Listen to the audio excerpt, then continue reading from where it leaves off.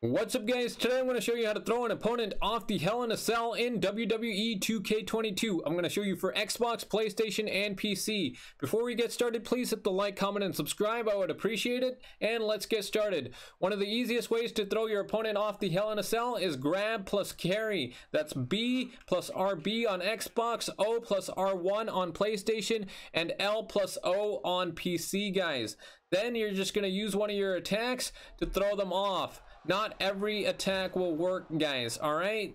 And then to jump off, all you got to do is X on Xbox and square on PlayStation and J on PC, guys. You can also use some finishers to throw them off, like the choke slam. I hope this video helped. Please like, comment, and subscribe. Have a nice day.